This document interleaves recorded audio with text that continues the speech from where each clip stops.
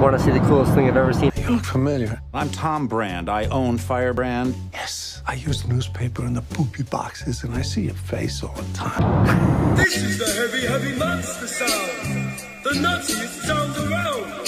So if you're coming up the street and you're beginning to feel the heat, well, listen, Buster, you better start to move your feet.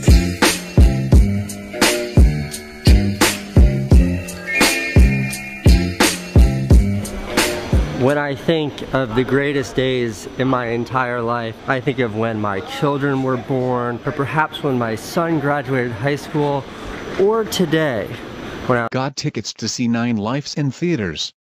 I don't know what I did to deserve this, I really don't. Oh my god. A mysterious man. You look familiar. I'm Tom Brand. I own Firebrand. Yes, I use newspaper in the poopy boxes, and I see your face all the time. Total privacy. I'm Tom Brand. I own Firebrand. I use newspaper in the poop. Snacks? The TV here is enormous, it's like a movie theater.